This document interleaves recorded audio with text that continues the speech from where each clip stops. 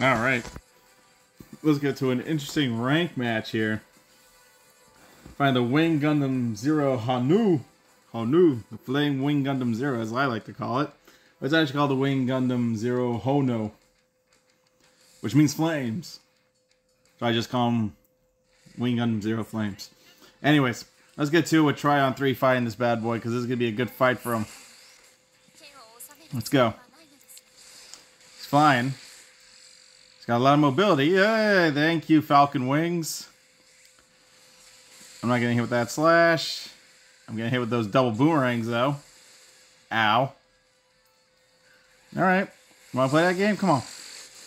Ow. Wow. He's very flashy with his combos. Ow. Nope, missed. But he missed too, so that's good. Yeah. Get punched. Get up. Oh, God. Nope. Tackled. Did a nice little ballerina twirl on him. He's dead. Got a freaking Gouf Custom problem. Not happening. Explosions. I'm coming, buddy. Slice. Slice, and I'm dead. The slicing was kind of worth it. All right, Star Build Strike. Oh my god. Fly up to the sky. Fire! Tamiki, fire! Power charge. I got my head in, actually. Looks like he took 600 damage. Bam. Bam! Roundhouse kick, baby. Diamond attack. Alright. I'm good. That was enough. Kya! Like, Star Build is like the go-to blue gotcha units, I'm telling you. You won't be disappointed with it. Oh, God!